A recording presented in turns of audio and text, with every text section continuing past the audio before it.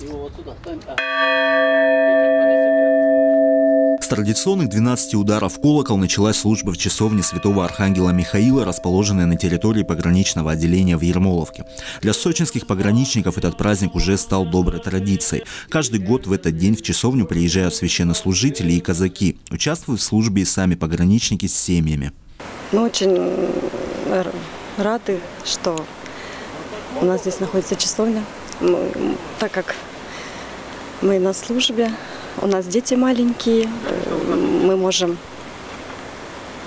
в любое время прийти помолиться за наших супругов, за деток наших.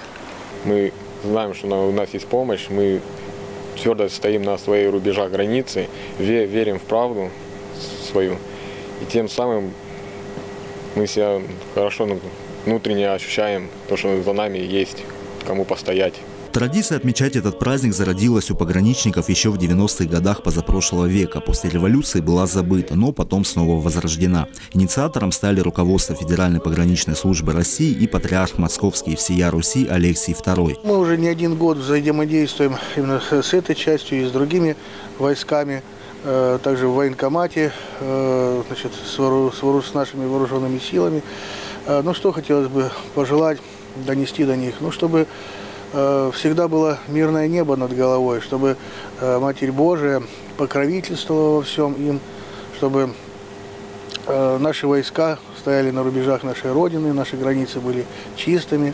Вот, пока враг спокоен, и мы спокойны. Встрепенется, конечно, шашки на голову, и тогда мало не покажется. Казаки принимают участие в празднике не только на правах первых пограничников, выполняли эту функцию еще при царе. Они и сегодня вместе с сотрудниками службы участвуют в охране государственных рубежей. Для них вера – одна из важнейших частей службы. Фундамент казачества – это православная вера. На основе православных законов и чтятся, и блюдутся, и создаются все казачьи законы.